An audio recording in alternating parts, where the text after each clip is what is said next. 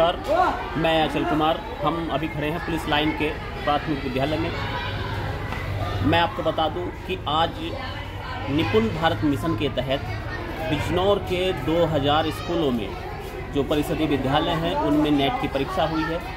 इस परीक्षा में यह देखने का प्रयास किया गया है कि अब तक बच्चों का शैक्षिक स्तर क्या है, कितने बच्चे निपुण बने हैं, और ज़िले के ज़िले में ढाई लाख बच्चे पंजीकृत हैं और जिनमें से करीब दो लाख बच्चों ने परीक्षा दी है। इस परीक्षा की खासियत यह भी है कि ये पहली बार ओ एम आर सीट पर परीक्षा हुई है। इससे पहले कभी परिषदीय विद्यालयों में ओ एम आर सीट पर परीक्षा नहीं हुई थी। अब देखना यह है कि बच्चों में कितना शैक्षिक स्तर निकल कर सामने आता है, क्या उनका डाउनलोड करें अमर उजाला ऐप और पाएँ खबरें लगातार।